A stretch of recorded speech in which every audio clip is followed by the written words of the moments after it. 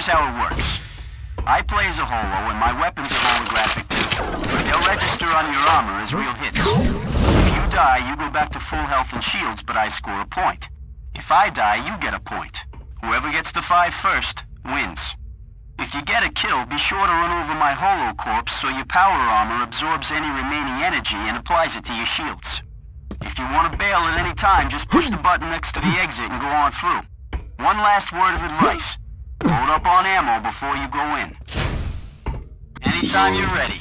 Bring it, Dalton.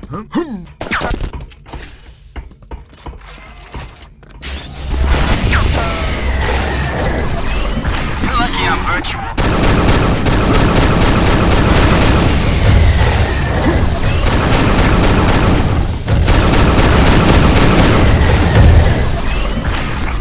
Ah, good shot. Hey now! Oh, good shot. Oh, good shot.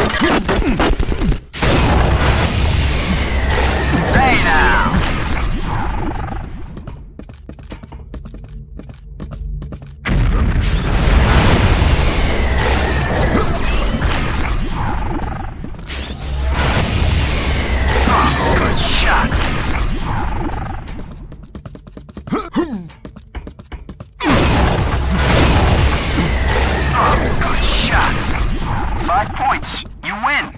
Eh, congratulations. You want to go again? Maybe next time. Good enough. Come on through the exit. Recharge your health and shield. Just step inside each station and they'll work automatically. Huh?